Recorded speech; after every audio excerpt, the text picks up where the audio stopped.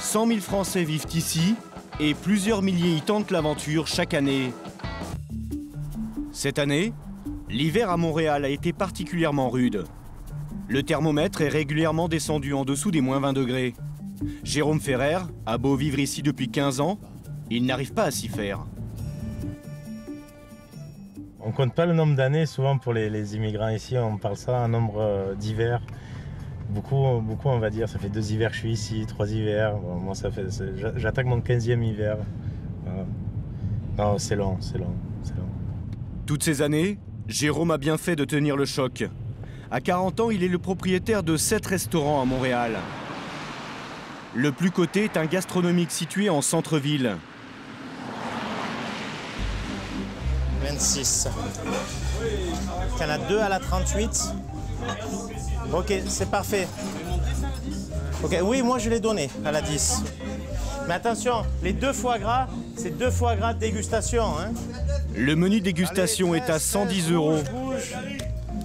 4 et 5, les deux quenelles, ça arrive. Hein. Rien qu'avec ce restaurant, Jérôme réalise 30 000 euros de chiffre d'affaires par jour. On fait marcher trois foie gras et une courge de nouveau. Rien ne laissait présager de cette réussite. En 2001, Jérôme arrive à Montréal sans un sou en poche. Avec deux copains, il ouvre un restaurant sans prétention.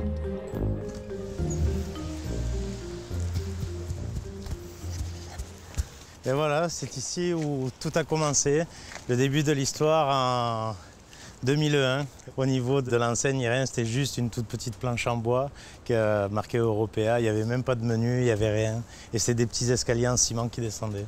Et on a mis un petit poêle ménager de, de- de maison et on a commencé avec euh, vraiment 4 sous.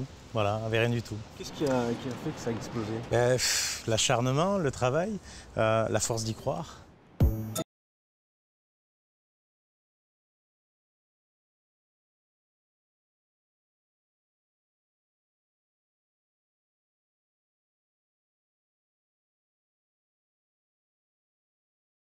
« 100 000 Français vivent ici et plusieurs milliers y tentent l'aventure chaque année. Cette année, l'hiver à Montréal a été particulièrement rude. Le thermomètre est régulièrement descendu en dessous des moins 20 degrés. Jérôme Ferrer a beau vivre ici depuis 15 ans, il n'arrive pas à s'y faire.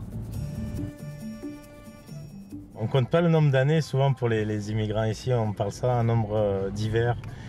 Beaucoup, beaucoup, on va dire, ça fait deux hivers que je suis ici, trois hivers. Bon, moi, ça fait, j'attaque mon 15e hiver. Voilà. Non, c'est long, c'est long, c'est long. Toutes ces années, Jérôme a bien fait de tenir le choc. À 40 ans, il est le propriétaire de 7 restaurants à Montréal.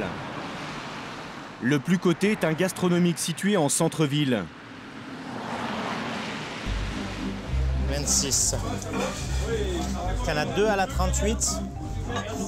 Ok, c'est parfait. Ok, oui, moi je l'ai donné à la 10. Mais attention, les deux foie gras, c'est deux foie gras de dégustation. Hein.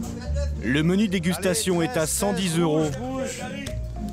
4 et 5, les deux quenelles, ça arrive. Hein. Rien qu'avec ce restaurant, Jérôme réalise 30 000 euros de chiffre d'affaires par jour. On fait marcher trois foie gras et une courge de nouveau. Rien ne laissait présager de cette réussite.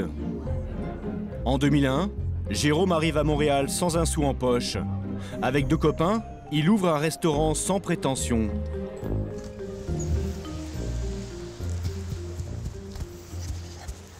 Et voilà, c'est ici où tout a commencé. Le début de l'histoire 2001.